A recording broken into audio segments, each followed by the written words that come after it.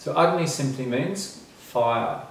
And in this context, we can take it to mean our digestive capacity.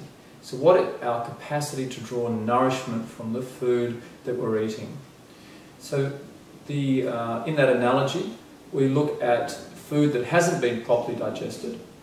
And in Ayurveda we have a word for that. The word is ama. It, its easiest uh, English translation would be toxins. So when food doesn't get properly digested, it tends to go into the body. It's unripe, not properly cooked, and tends to uh, block the channels of the body, and often will go to our weakest organ system. And then it can start to form disease. And the Ayurvedic texts of thousands of years ago are very clear. They say ama, or toxins, are the root of all disease. So if we improve our digestive functioning, functioning of our agni or fire, then at the end of that process, if you like, of combustion, there is just a fine ash or food that's been really well digested. Whereas if the food hasn't been well digested, it's going into our system and creating health imbalances of various kinds.